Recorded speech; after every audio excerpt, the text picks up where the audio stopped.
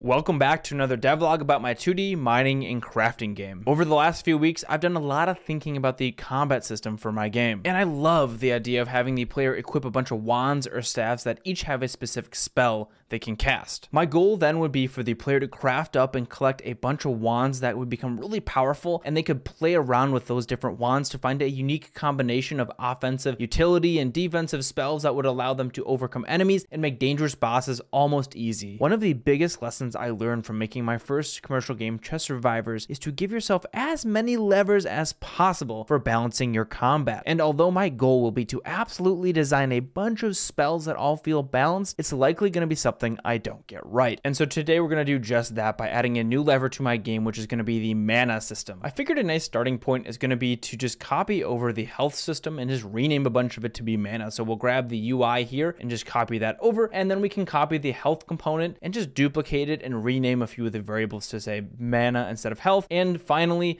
we'll set up the UI so that we can have this showing in our home base. And we're going to use blue as a mana color because sometimes you don't need to reinvent the wheel for the sake of reinventing the wheel. So our mana will be blue. Now I need to actually make these spells use the mana, but my spell and wand system was basically put together using duct tape. So we're going to spend a little bit of time here just doing a light refactor of those systems. Without going into too many details here, the key thing I'm trying to do is make it so that I can just easily pass pass in the spell resources into my different wands. So I've defined a resource that will have a reference to a spell script, as well as a reference to a spell projectile and a mana cost. Then when it comes time to actually cast the spell, we're passing in some modifier data from the player so that the spell can be reactive to the gear the player is wearing, as well as we're reducing the mana cost from the player's mana component. Something I like a lot about this approach is I'm using some common data patterns that I can easily store stuff into data using custom resources, or I can load stuff in from data really easily so that when it comes time to build out a save system, I already have data kind of thought about in the back of my head, and I don't have to go through my system refactoring everything so that it's data driven first and persistence and stuff like that. So this system likely will be adjusted in the future, but for now, let's jump into the game and we can flip over to our fire staff here, which will then cast the fire spell and perfect